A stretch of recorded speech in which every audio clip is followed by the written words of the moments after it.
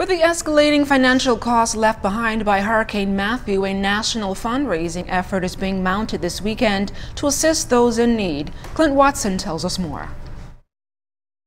This is a time for praise and thanksgiving and celebration, and an opportunity to to really put things back into perspective. The Bahamian gospel community will come together this weekend at the Evangelistic Temple Church on Collins Avenue in an opportunity to not only refresh the country and gospel music, but to also provide an avenue for residents to give to those who need help.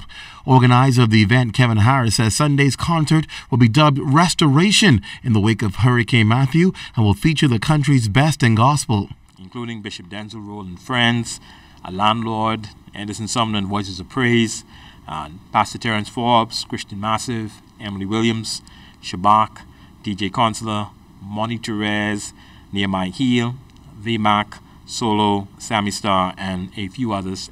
Also included will be Minister Nicole Watson and Prophetic Praise, who will jumpstart the event for us with praise and worship.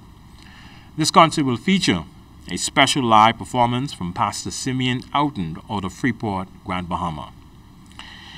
This event is being held in conjunction with the Bahamas Christian Council and Save Our Bahamas.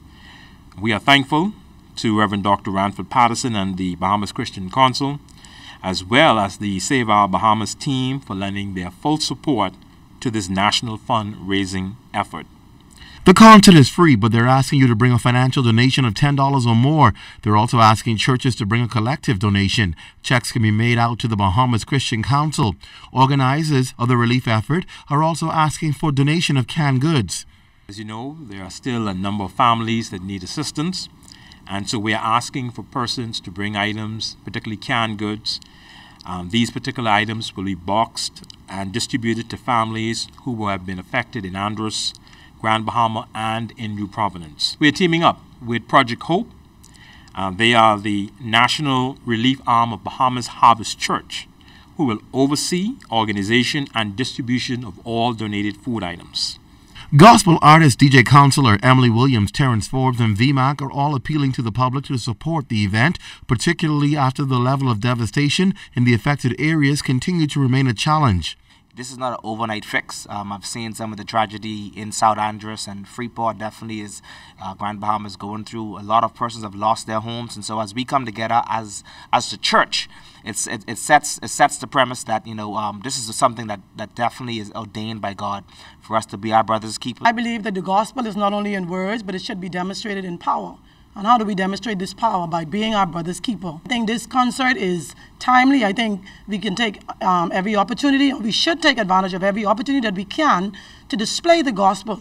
I want to encourage those persons that have been impacted by the storm that our God is a shield and a buckler to those that trust in Him. And we want to invite you to come out on Sunday evening in a time of worship and praise and thanksgiving unto God because no lives were lost. Because this night is going to be a one of restoration, one of celebration, celebration of life, celebration of, of no lives being lost, but celebration of, of what God will, will what God will do for the future of our country.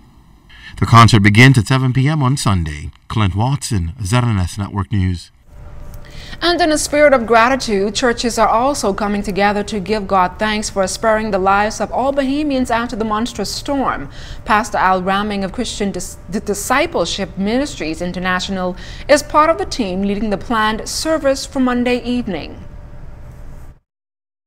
We pause to celebrate what God has done in our midst and to make an appeal to others who are doing well to share with those who are not. The service will be held on Monday, the 14th of November, at the Living Waters uh, Church on Warren Street, where Apostle Raymond Wells is the senior pastor.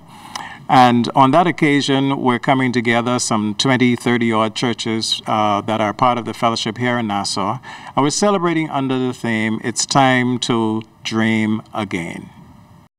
Pastor Rahming says while it is time to give praise, attendees are also being encouraged to come prepared to give and help affect change in the lives of those who need it most but we also want people to bring their gifts so that collectively we can make a difference to those who are still hurting uh, uh, in the wake of Matthew. There's still devastation in, in certain parts of New Providence, devastation in Andros and Grand Bahama, of course. And we want to make a, a collective uh, effort to make a difference in the lives of persons um, generally.